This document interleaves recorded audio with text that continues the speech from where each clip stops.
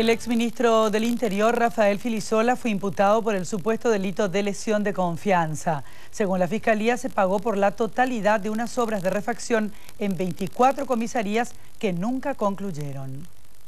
Según el Ministerio Público, a finales del 2010 se realizó la licitación para la refacción de celdas y baños de las 24 comisarías del área metropolitana. En enero del año siguiente se pagó el 100% de la licitación a la empresa Todo Verde, unos 1.131 millones de guaraníes. La empresa debía terminar las obras en 90 días, pero esto no ocurrió y hoy se encuentran en completo abandono. Por esta razón imputaron al entonces ministro del Interior, Rafael Filisola, por lesión de confianza. Dentro de los parámetros establecidos para el, pago de, las obras o los contratos que se tienen que hacer con el Estado, solamente pueden ser en forma inicial de un 50%.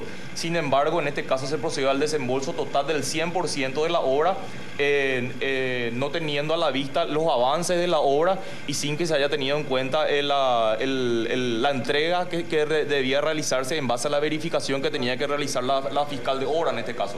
Además, el Estado no pudo ejecutar la póliza de seguro establecida en el contrato por errores en la documentación presentada por el Ministerio del Interior.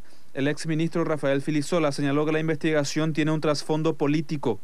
Dijo que solicitó al Ministerio de Hacienda no realizar el pago a la constructora, pero de igual forma lo hicieron. Quiere decir que acá este, hay claramente un contubernio Quiere decir que el ministro también, que en este momento está muy apremiado por denuncias de irregularidades en su administración, por falta de resultados en materia, en materia de, de lucha contra la inseguridad. Filisola acusó al gobierno de Cartes de querer desviar la atención de la ciudadanía con denuncias en su contra.